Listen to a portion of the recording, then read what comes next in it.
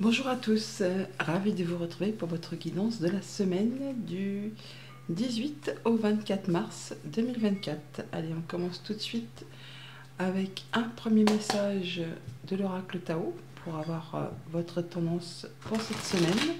Les béliers, allez c'est parti. Quelle est la tendance pour les béliers pour la semaine du 18 au 24 mars? Que peut-on dire au bélier pour cette semaine du 18 au 24 mars? S'il vous plaît, merci. L'énergie principale qui va les accompagner. Bélier, semaine du 18 au 24 mars 2024.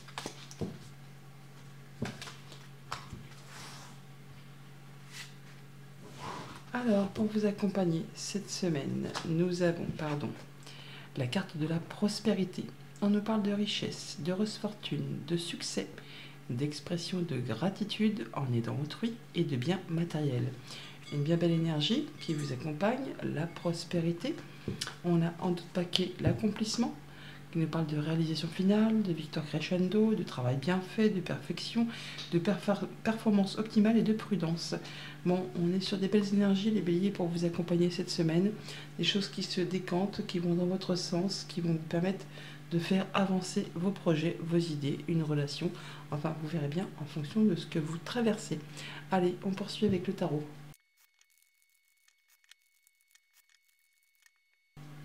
Et à la coupe, avec le tarot, nous avons l'as d'épée et l'ermite, arcane majeur. Vous allez y voir clair, les béliers, cette semaine. Nouvelles idées, nouvelles créativités, nouveaux projets. On fait les choses avec discernement. On prend son temps. On fait le point. On regarde un peu d'où on vient, où on en est et vers quoi on va. En tout cas, vous allez pouvoir trancher, décider et faire avancer vos projets on y voit plus clair par rapport à quelque chose qui vous a fait douter, qui vous a mis un peu dans la confusion, quelque chose qui était peut-être un petit peu euh, compliqué à gérer. Bon bah là c'est bon, c'est fini, vous allez pouvoir y voir clair par rapport à ça. Ah bah oui, 9 d'épée, on a eu une période de nuit blanche, d'insomnie, de cauchemar, des choses où on voyait pas le bout du tunnel. Là c'en est la fin, hein. c'en est la fin. Avec ces traînes d'épée, on, tranche, on décide, on fait les choses avec discernement. La reine d'épée, euh, c'est la veuve, la divorcée du jeu. Quand elle fait ses choix, quand elle prend ses décisions, elle les fait de façon intelligente. C'est clair, précis, concis. Et elle fait les choses de façon à ce que ça aille dans son sens, afin de ne pas recommettre les mêmes erreurs. Ah ouais, ça pour certains d'entre vous, on a eu une séparation ou quelque chose qui vous a blessé. ça peut être des mots blessants, ça peut être euh, effectivement la perte d'un travail, euh, la séparation d'avec un conjoint. Et euh, ça peut être une, décision de justice qui tombe, hein, qui va vous permettre vraiment de vous libérer d'une situation de crise. Et là, c'est beaucoup de mental, hein. que des épées quasiment, hein. 3 d'épée, reine d'épée, 9 d'épée, la lune qui nous parle de doute, de confusion, mais après on y voit clair là. Hein. On, on tranche, on décide, c'est limpide. Ça peut être une décision de justice qui tombe pour certains d'entre vous qui va vous permettre de redémarrer quelque chose et avec peut-être une petite compensation financière à la clé. Avec cet ermite, on voit bien qu'il y a eu une période où on a eu, où on a la peur de manquer, de ne pas y arriver, peur de manquer de moyens matériels financiers, où là il y a vraiment quelqu'un qui vous manque. Mais on est aussi dans une phase de transition avec ce 5 de, avec ce 5 de denier. On met des changements en place dans sa vie et du coup, euh, c'est un peu chaotique, c'est un peu inconfortable, mais c'est un passage nécessaire pour pouvoir avancer vers quelque chose de plus stable. D'où le fait peut-être de regarder les choses avec sagesse, avec intelligence et avec maturité, en tenant compte de ce que vous avez déjà vécu. Hein. Ça vous demande de jongler avec pas mal de choses en même temps pour maintenir l'équilibre. Mais vous gérez, hein. vous gérez ça comme un chef. il y a une période de blocage. Une période de blocage où euh, on regarde un petit peu ce qui, à quelle sauce on va être mangé, quoi. Hein. On regarde un peu si on fonce dans le tas, si on contente des obstacles, et certainement un choix, vous êtes à la croisée des chemins. Vous avez trouvé votre voie, mais il y a eu ou il y a encore un petit moment d'attente. Mais juste derrière, il y aura la transformation, parce que juste après le pendu, on a la mort. Et donc c'est le renouveau complet. On jongle encore avec des choses, c'est un peu inconfortable, mais en tout cas, on fait les choses avec discernement. Début de semaine, le 5 de bâton, où on nous parle de divergence de point de vue, d'opinion, euh, de choses qui demandent d'y aller, hein, d'entrer dans la bataille. Tout le monde n'est peut-être pas d'accord avec vos façons de faire, vos façons d'agir, vos façons de penser. Là, il va falloir euh, y aller pour montrer un peu de quel bois vous vous chauffez. Il peut y avoir des concurrences sur les rangs. Ça va vous permettre de récolter avec ce 9 de denier. On est aussi sur le fait, encore une fois, pour certains d'entre vous, de se retrouver en statut de célibataire ou de se retrouver seul, ou encore de monter sa propre boîte, de faire ce qu'il y a à faire pour monter sa propre entreprise. Et on y va. Avec tous les efforts fournis, le fait d'entrer dans la bataille, vous allez récolter le fruit de vos efforts. D'où le fait de la prospérité et certainement de la carte de l'accomplissement que nous avions, que nous avons, pardon, en d'autres paquets. Et le 7 d'épée, on quitte une situation qui n'est plus acceptable. Pour certains, arnaque, vol, coup mesquinerie, des choses pas spécialement agréables à vivre que vous avez traversées. Et avec le fait de vous imposer de rentrer dans la bataille, vous récoltez. Vous récoltez et euh, vous, faites, vous avez fait ou vous faites ce qu'il y a à faire pour que cette euh, situation se clôture. Vous quittez, vous quittez quelque chose qui ne vous convient pas, qui ne vous convient plus, pour aller vers quelque chose de mieux. Et vous faites ce qu'il y a à faire pour que ça ne se représente plus devant vous, pour en terminer une bonne fois pour toutes. Avec l'amoureux, on a bien un choix à faire sur lequel on a une petite hésitation. On vous invite là à faire un choix de cœur. Attendez, c'est un peu de travers. On vous invite vraiment à écouter vos ressentis, à vous demander vraiment ce que vous souhaitez dans votre vie, mais également ce que vous ne souhaitez plus, ce qui va faciliter la prise de décision et le fait de rentrer dans la bataille et d'y aller. Avec l'as de coupe, on a bien un nouveau cycle qui se met en place, quelque chose qui vous fait vibrer, qui vous émotionne, je ne sais pas si ça se dit, mais en tout cas, quelque chose qui vous prend aux tripes. Ça vous fait plaisir, ça vous met en joie, ça peut être une nouvelle rencontre, un nouveau partenariat, une belle proposition qui vous demande toutefois de faire un choix. Si c'est au niveau professionnel, c'est sûr qu'il y aura peut-être de la concurrence sur les rangs il va falloir faire voir de quoi on est capable qu'on est compétent pour euh, assumer, assurer cette proposition.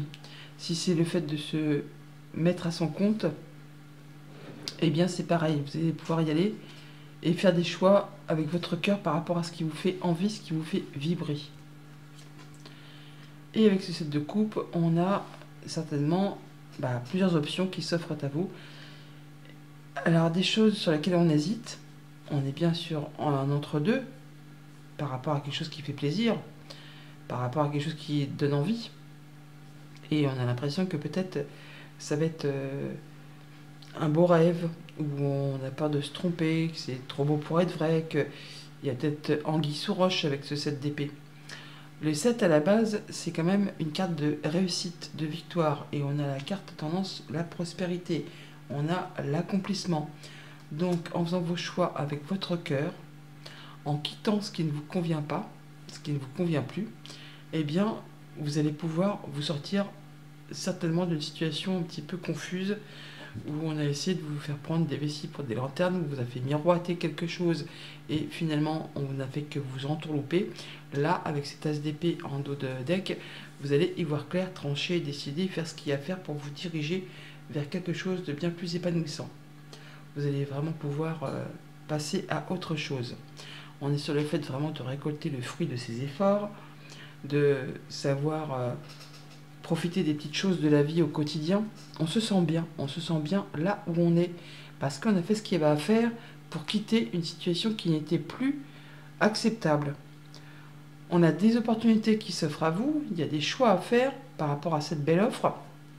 À vous d'écouter de votre cœur et euh, de pouvoir ainsi vous diriger vers ce qui vous va vous permettre de vous épanouir et qui va vous apporter l'abondance. Pour tout ce qui touche à la famille, aux émotions, aux relations, on voit bien qu'on a un choix à faire par rapport à un projet, par rapport à une façon d'agir et euh, tout le monde autour de vous, les amis, la famille, le conjoint, tout le monde n'est peut-être pas d'accord avec votre façon de faire. Agissez en fonction de vos ressentis, de vos, de vos émotions pour pouvoir, euh, bah oui, même si tout le monde n'est pas d'accord, mais faire voir que, bah oui, quand même, euh, aller dans ce, qui, dans ce qui vous semble juste et dans ce qui vous fait vraiment vibrer et ce qui va vous permettre de vous épanouir. Pour tout ce qui touche au monde concret, matériel, financier, on a une offre, une proposition, un nouveau contrat peut-être, hein, un nouveau projet qui se met en place qui va vous permettre vraiment de récolter, de récolter les fruits de vos efforts, qui va vous permettre de vous sentir en sécurité. C'est l'accomplissement, c'est l'abondance, c'est le fait d'être serein dans son quotidien, de ne manquer de rien. Je ne pas d'être riche à fortune, hein, mais euh, au moins d'être à l'aise, au moins de se sentir que oui, bah, ça va, ça va, euh, on peut profiter des petites choses de la vie où on se dit bah c'est bien, j'ai tout ce qu'il me faut pour euh, être heureux. Et pour tout ce qui touche au monde concret du travail ou de vos activités en général, si vous n'êtes pas actif professionnellement, on a plusieurs choix. Plusieurs choix, plusieurs, opportunités. On peut avoir un projet qui vous fait rêver, et on se dit, mince, c'est peut-être trop beau pour être vrai, je me fais peut-être euh, des idées, des illusions, ça va pas le faire. Pour certains d'entre vous, c'est vraiment quelqu'un qui vous a fait miroiter quelque chose et euh, on vous a entourloupé. Pour d'autres, c'est le fait de quitter une situation qui n'est plus acceptable pour se diriger vers vraiment un projet qui vous fait rêver, qui vous fait envie. À vous, effectivement, de faire un choix de cœur pour pouvoir quitter ce qui ne vous fait plus euh, triper, pour aller vraiment vers ce qui va vous permettre de vous épanouir, de vous apporter la joie et le bonheur. Alors, puisqu'on est repassé aux guidances quotidiennes, je laisse le jour par jour, mais on va essayer d'éclaircir un petit peu les choses par rapport aux cartes que nous avons là. Alors, par rapport à ce 5 de bâton, qu'est-ce qu'on peut nous dire de plus par rapport à ces, pas ces disputes, mais ces divergences de point de vue et d'opinion pour les béliers? On a le fait d'avoir un petit peu de stress, d'angoisse, peut-être par rapport à des divergences de, de pensée. Hein de ou de messages que vous allez recevoir. Ou alors on nous dit qu'il faut y aller, qu'il ne faut pas hésiter à stresser, qu'il faut agir avec rapidité. Bon, on a des nouvelles de la visite, des déplacements qui vous tiennent à cœur, hein, mais qui vous font un petit peu stresser, douter, parce qu'il va falloir y aller. Hein. Il va falloir euh, vous affirmer, vous positionner, enfin dire de quel bois vous vous chauffez. Et c'est ce qui va vous permettre vraiment euh, d'atteindre l'apaisement et de concrétiser un souhait, un vœu. Ça va permettre de faire bouger une situation. Avec ce, serpent là, on va pouvoir éclaircir une situation qui a été un peu confuse, comme on avait un petit peu à la coupe par rapport à un contrat, une union, un accord. Il y a quelque chose qui prend fin. On voit bien qu'on quitte une situation et il va pas falloir vous laisser faire. Il va falloir entrer dans la bataille. Avec ce 7 d'épée, on voit que on quitte quelque chose où on a été euh, victime d'une manipulation, de quelque chose de pas spécialement cool. Qu'est-ce qu'on peut nous dire de plus sur ce set d'épée pour les béliers pour cette semaine? Du 18 au 24 mars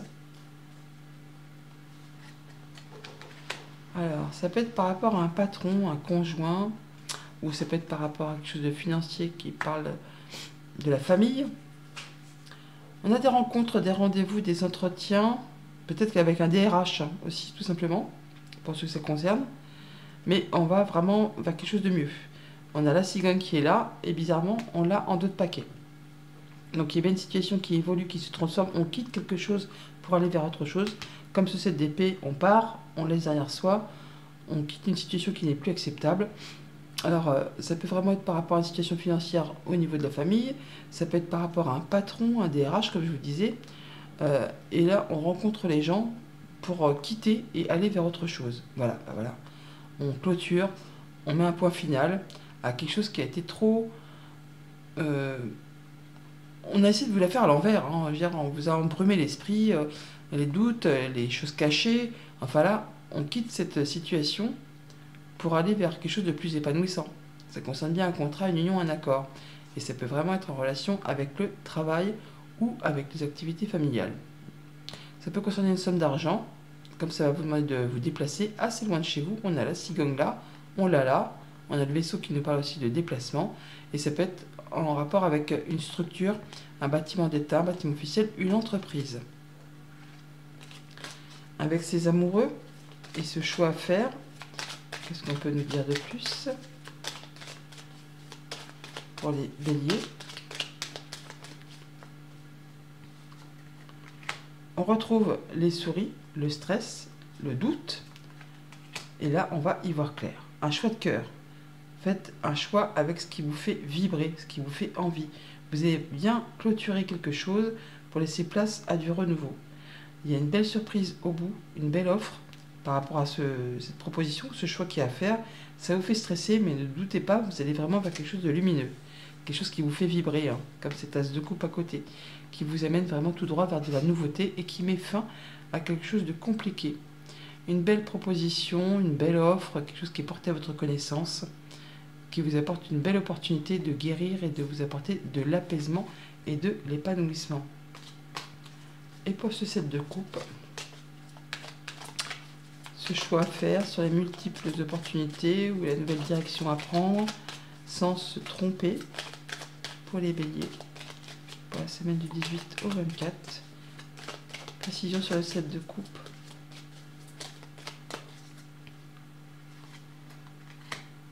Alors, on nous parle soit d'une femme, soit d'une situation qui évolue, qui se transforme, soit quelque chose qui vous fait croire que eh, c'est peut-être pas terrible. Bon, bah là, c'est bon. Vous allez pouvoir clôturer, en transformer, mettre un point final à quelque chose et partir avec quelque chose de plus miroitant. On retrouve cet ours hein, que l'on avait juste au-dessus tout à l'heure, qui nous parle soit d'une situation financière, soit d'un patron, soit d'une personne qui peut-être a de l'autorité,